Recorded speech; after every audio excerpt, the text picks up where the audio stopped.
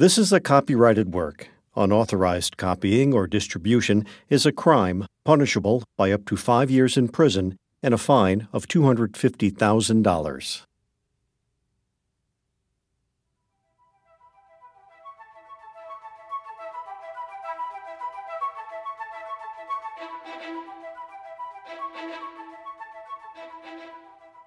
Scholastic Audio presents City of Magic by Avi. Read by Barrett Leddy.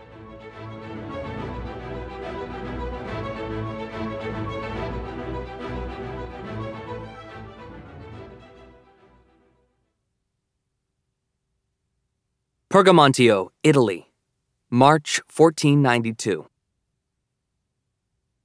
Chapter 1 Here comes trouble.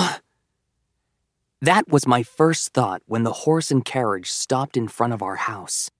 But, with permission, I must begin by telling you my name is Fabrizio, and I am the 13 year old servant of Mangus the Magician.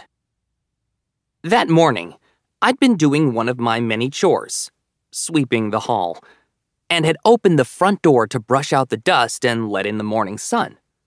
So it was me who saw the carriage arrive with its team of horses. Painted on the carriage door was the crest of Pergamontio's king, Claudio Thirteenth. Whenever that carriage with that sign came to our house, it always brought disaster. No sooner did the carriage stop than a man leaped out. He was a tall, sharp faced man with a pointy nose, thin lips, bright eyes, and a spiky red beard. His shimmering green silk jacket reached his knees. On his legs were multicolored leggings and fine leather boots. A flat black cap sat on his head. Sticking up from that cap was a peacock feather whose veins came together in the shape of a blue green eye that seemed to glare at me with anger. But what made me truly uneasy was the dagger that hung from his belt, its blade so sharp it glittered.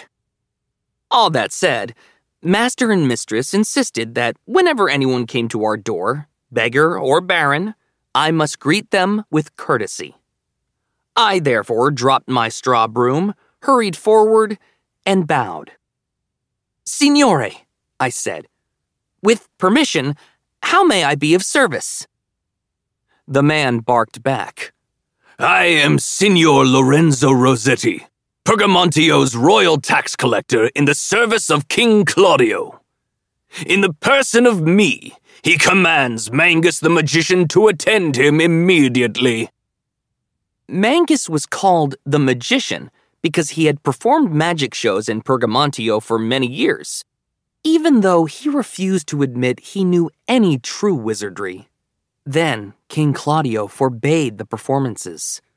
So, whenever my master's name, Mangus, was linked to the word magic, I was instructed to say, as I did, Signore, my master no longer performs magic.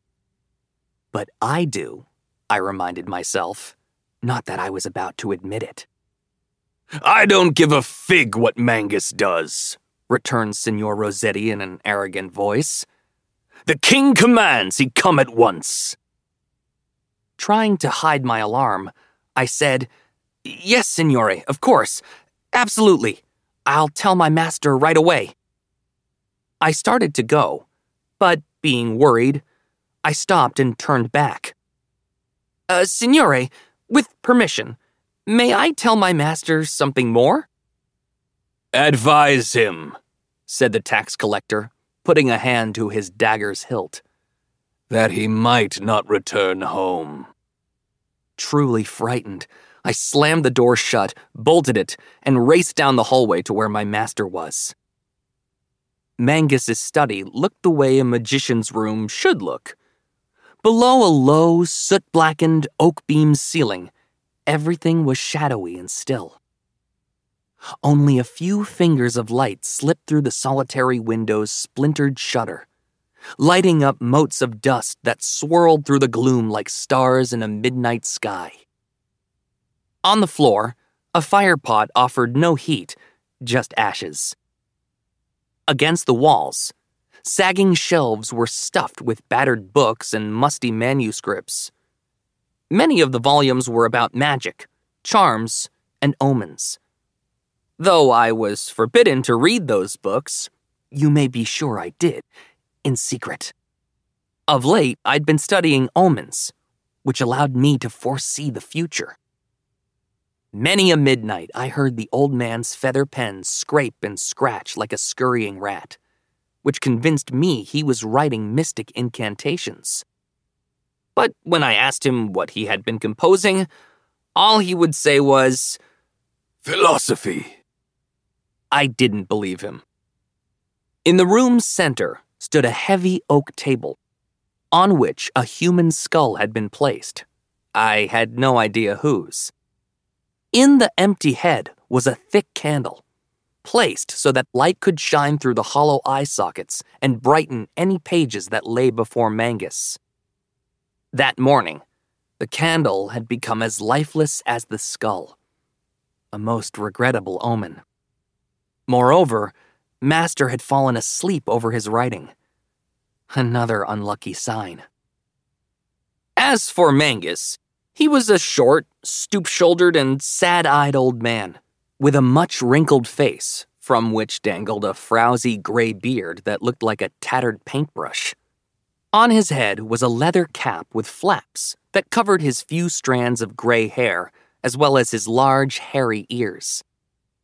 Draped over his back was a dark wool cape, while on his feet were boots of moth eaten rabbit fur. What you need to know is that I had come to live with Mangus and his wife, Mistress Sophia, two years before. I had been a homeless street orphan, and they brought me into their home so I might take care of them in their house. So I cleaned, ran errands, and fetched what they needed. In return, they fed me and gave me a straw bed in their tiny attic. I am happy to acknowledge they treated me kindly. Moreover, in such free time as I had, I did as I wished. To be sure, I had no money, but I was content. That said, my sole complaint was that the old man refused to teach me any magic. He claimed he didn't know any. How exasperating. How annoying. How regrettable. If I'd known even a bit of magic, I would have done all manner of marvelous things.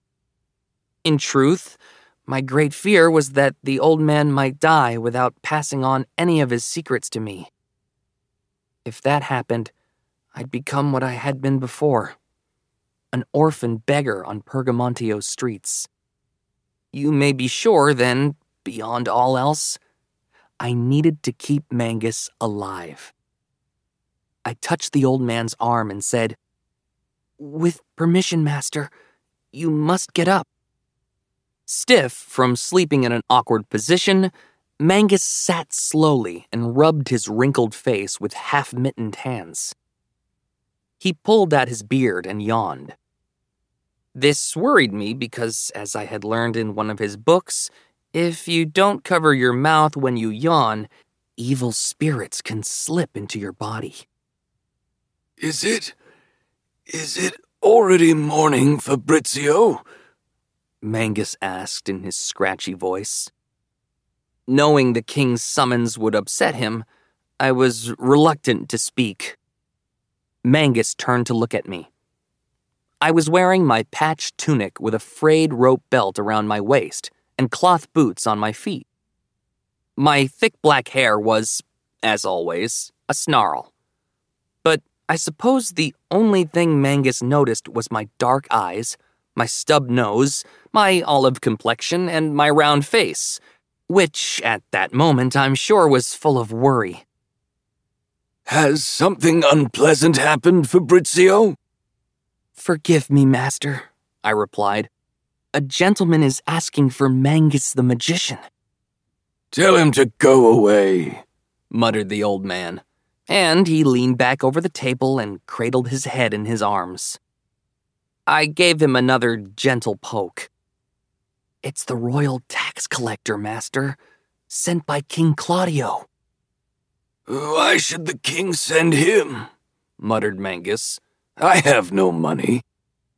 All he would tell me is that you might not return home. Those ominous words made Mangus pop up so fast it caused him to wince.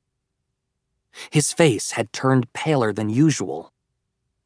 Fabrizio, did he truly say such an appalling thing? Master, I know it's better to have no answer than a bad one, and I did ask for more facts, but that's all the Signore would say. Though it's unpleasant, I'm afraid you must go. With permission, I'll be at your side. Ah, Fabrizio, the more you hurry, the shorter your life.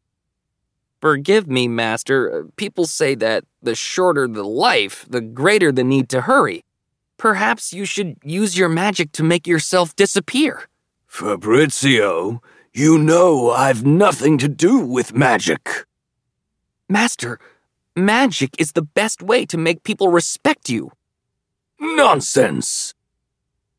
If the world makes no sense, Master, nonsense must do. The old man smiled. Fabrizio, if the devil appeared, you would joke with him. Alas, Master, I fear that the devil is already at our door.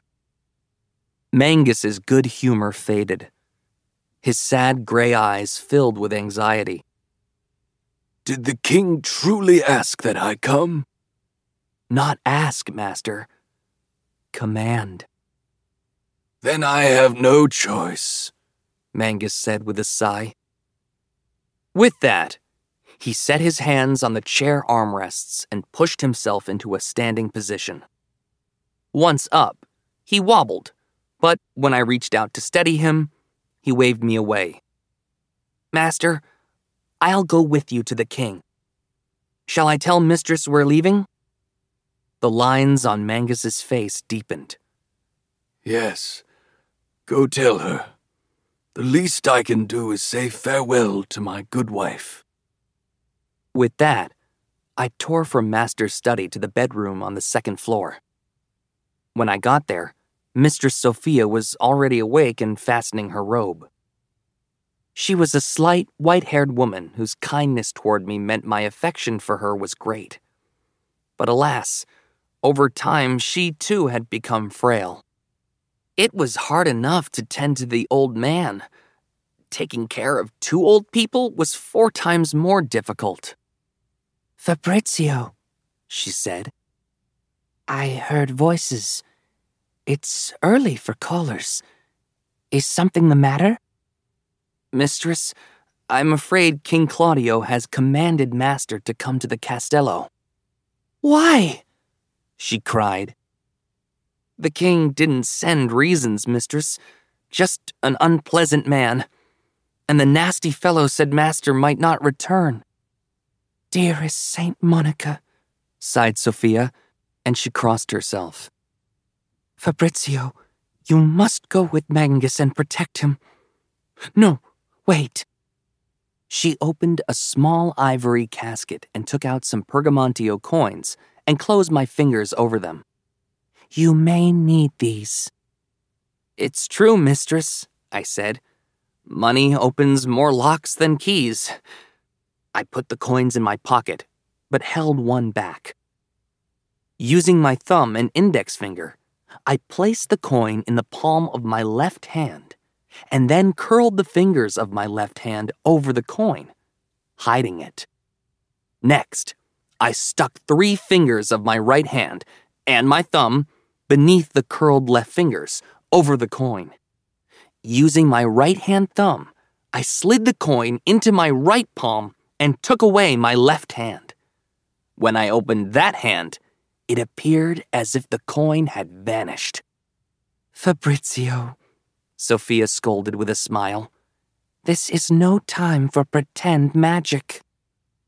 Mistress, I learned it from one of Master's books.